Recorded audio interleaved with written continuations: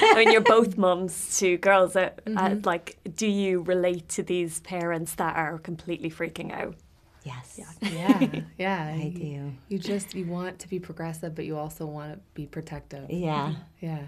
I think uh, with Lisa in particular, you kind the character is very open and the cool mom, and is really down to bond with the daughter, but then probably freaks out the worst out of everyone. That's the truth. You're like, I'm cool. I'm so cool.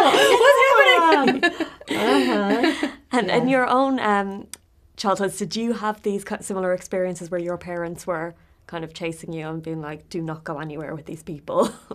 Not really. I think I had so much freedom. Um, I wasn't. I wasn't. And my mom was busy, and I, I'm not sure she paid that much attention to what I was doing ever. Um, but uh, so I was like, I felt like an an adult, like starting at eleven. Like I know what I'm doing. Were you a wild child? I wasn't wild, no, because I had no one to rebel against. Oh, yeah. So I had to like take care of, of things, Uh-huh. take care of business.